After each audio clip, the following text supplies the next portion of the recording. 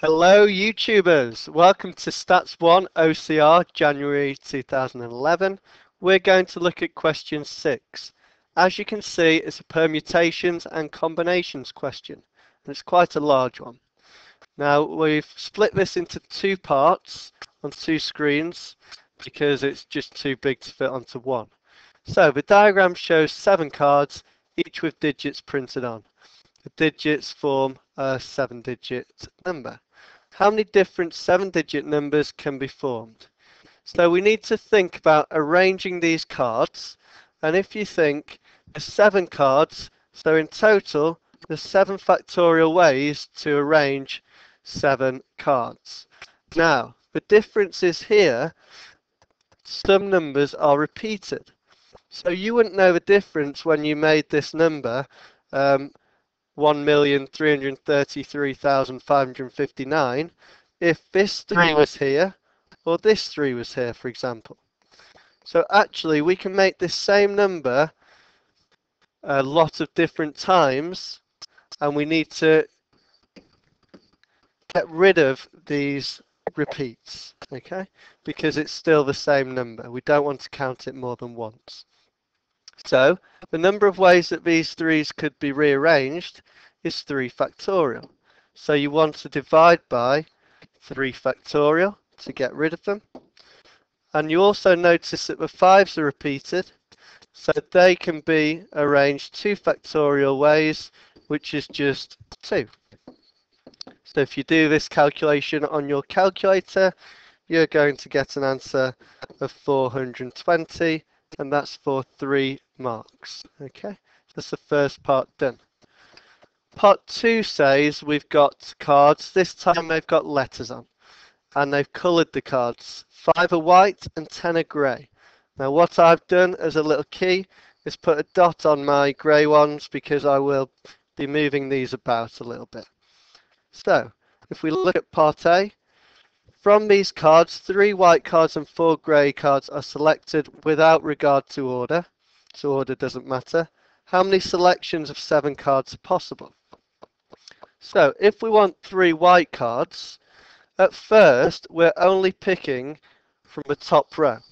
So at first we've got five cards to pick from and we want to choose three because order doesn't matter. For the grey ones, we've got 10 cards and we want to pick four. So we do 10, choose four. And we want to multiply these probabilities to account for the different possibilities. And we get an answer of 2,100. So that's the total number of ways that you can pick seven cards where three are white and four are grey. Looking at part B, it gets a bit more tricky. It says find the probability that seven cards include exactly one card showing the letter A.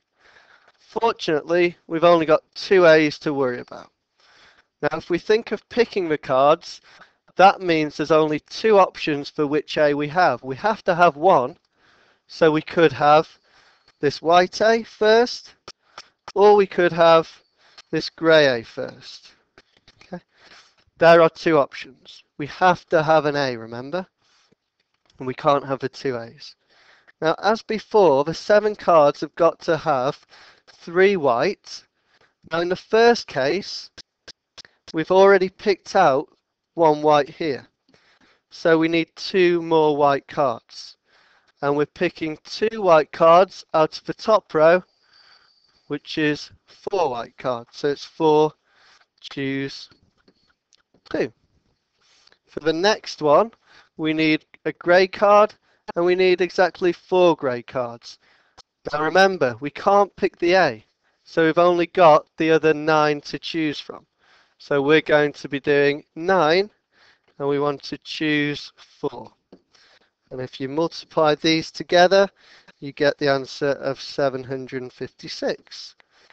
For the second scenario, we imagine we pick out the grey card. Now we've got five different white cards to choose from. And this time we want to choose three whites because we haven't picked any whites yet. Okay, but don't forget we can't use the A, so it's not 5, it's only 4 to choose from. So, now we think about our grey cards. We've already got one grey card, so we need three more, and we've got the nine remaining greys to choose from. So what you have to do again is multiply, and you get the answer of 336. The total possibilities you get by adding the first case to the second case, which is 1092. And for probability, you have to divide by the total possible number of options, which look, we've already figured out. So it's 1092 over 2100 as a fraction, or as a decimal to two decimal places, 0.52. That's your final answer. I hope this has been helpful and make a comment or like if you want to and I'll see you soon. Thanks for watching.